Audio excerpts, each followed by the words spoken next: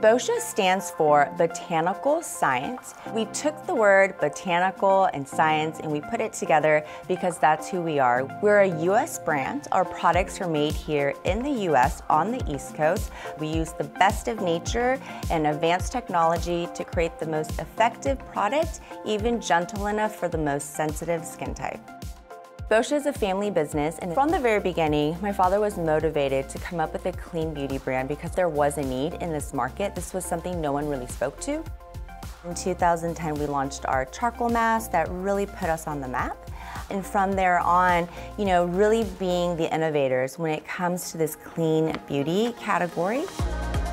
We actually thought about China very early in the stages of Boscia. Ever since we did exit China a couple years ago, we knew we had to get back into the Chinese marketplace. Kind of coincidentally, the Tmall global team reached out to us directly, essentially saying, you know, we're really interested in bringing Boscia overseas via Tmall Global, and that really was something we were really surprised about.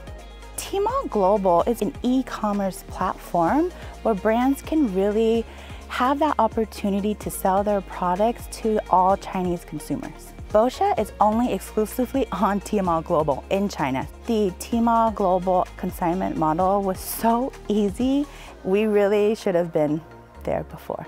We definitely saw month over month growth for every product, and I think that was a huge opportunity for us to understand the volume that we're capable of doing. After the consignment model, we can then go to the next level, which is the flagship store level. The Alibaba Tmall Global flagship store is really appealing for brands. Tmall Global really allows us to market and educate the consumers by ourselves. With other bigger platforms, it's a little hard to tell your story and have control. So we officially launched our flagship store in November of last year. Some successful tactics that we've had was live streaming. Our first live stream that we've ever done in the Chinese market, the live stream only lasted for about maybe two minutes. We sold thousands of units just in one shot. So that was absolutely shocking for us to see that success because our business in China is doing so well, that does, you know, help us in turn support other initiatives here. It also too, at a bigger level, you know, we're now looking for additional international team members. So we're looking to hire locally to bring in new team members.